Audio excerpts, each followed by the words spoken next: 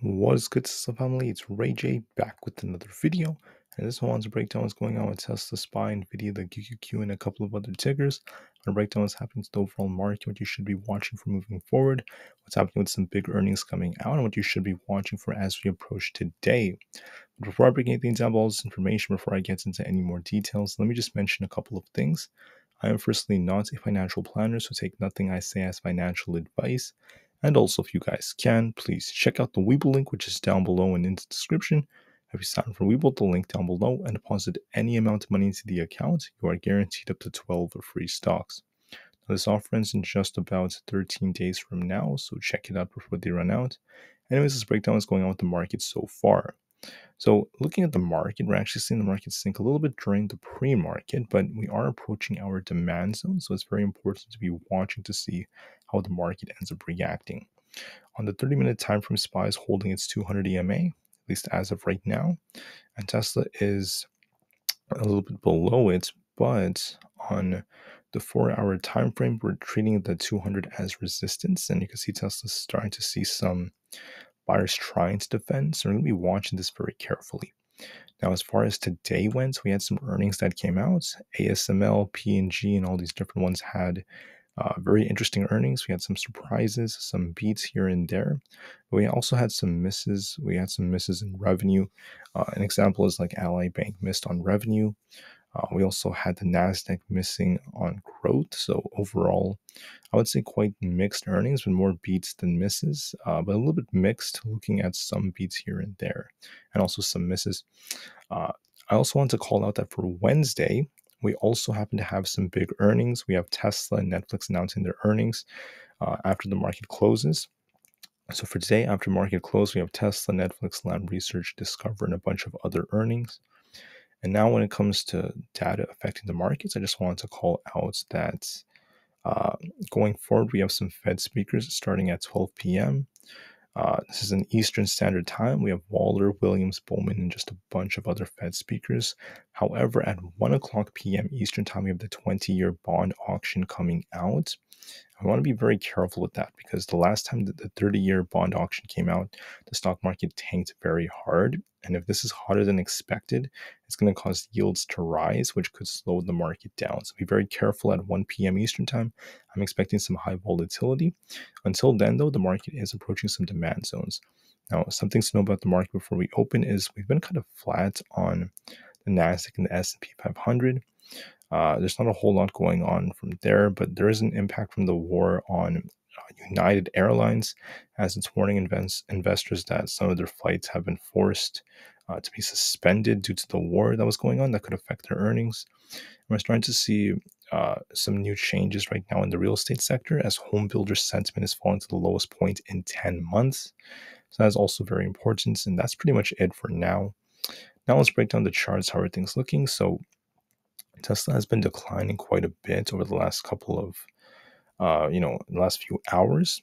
However, as long as it holds this 250 support, as long as buyers step in, Tesla could be establishing higher highs and higher lows.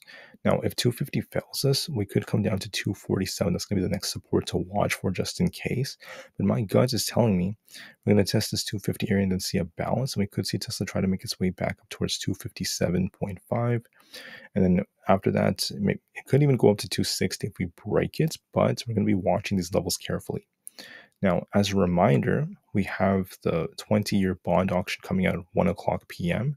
That could help Tesla try to hold up a little bit, could help Tesla try to like hold up and hit like 260 and then come back down.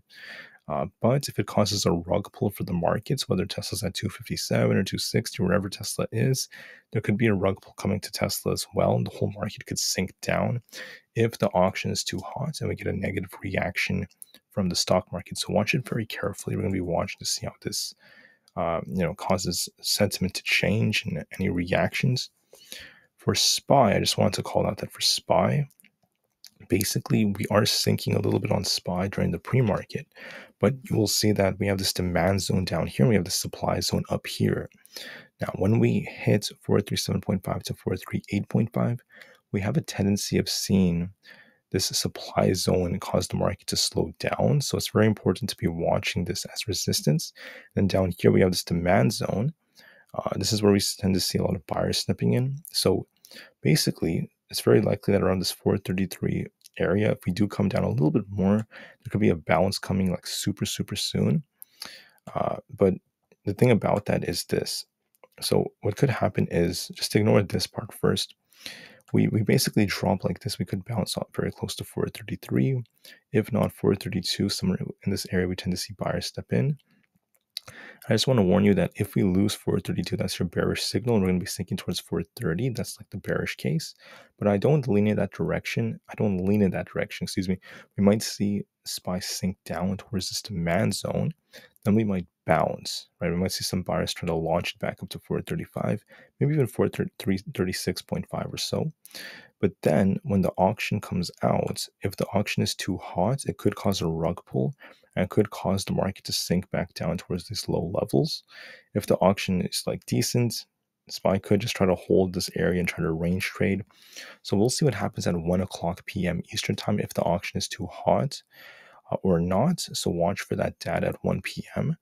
And until then, you know, we could see this thing kind of sink a bit and try to balance. We could see it uh, attempts to bounce on SPY. So just watch this area very carefully. We will see how this ends up getting some kind of reaction. All right, so we're going to be watching these levels be looking for a potential bounce on SPY, at least for the morning.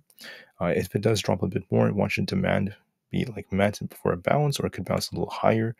Uh, and then we're going to be watching for a big reaction after the auctions data comes out. For the QQQ, we're seeing something very similar. The QQQ is getting very close to its demand zone and this like 365 to 364 zones, like right about here we tend to see a lot of buyers stepping in. So we're going to be watching this area very, very carefully just to see what happens from here. Uh, I just wanted to call out that uh, we're getting very close to this zone, and this could lead to potential bounce on the QQQ, uh, very close to this area. So we're going to be watching to see if we test this demand zone or not. Uh, we could come down for liquidity grab here and see buyers step in. Uh, if buyers do step in, you're going to be watching 366 as resistance. If we break this, watch 367, then 368 and 368.74 as resistance levels. Let's see if this thing can break above 366. If it manages to do so, I'm going to be watching these levels very, very carefully. Now, when watching them, I just want to call out that uh, if we end up failing to get this breakout, or if we just like hit 366 and kind of stop around here, Watch for a much bigger move after the bond auction data comes out at 1 p.m. If it causes a rug pull, we could see this sink right back down.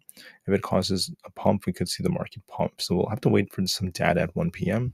But look for a little drop in a balance intraday, most likely for the QQQ, before that data comes out. All right. And now looking at something else, such as NVIDIA, it's looking a little bit weaker. NVIDIA is continuing to sink quite a bit.